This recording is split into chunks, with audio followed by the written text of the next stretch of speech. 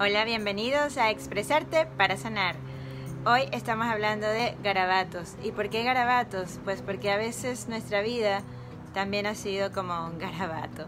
Y entonces después de ese garabato uno tiene que reacomodarlo o reencontrarse o reinventarse para que ya no sea un garabato más.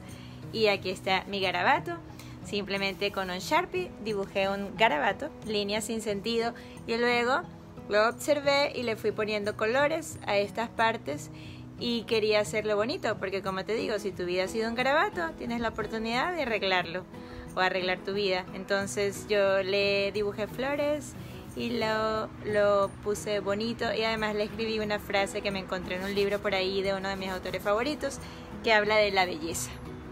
Y eso es todo por el día de hoy. Espero que lo disfrutes y si lo intentas, no olvides de compartir tu dibujo y hacer un hashtag a expresarte para sanar.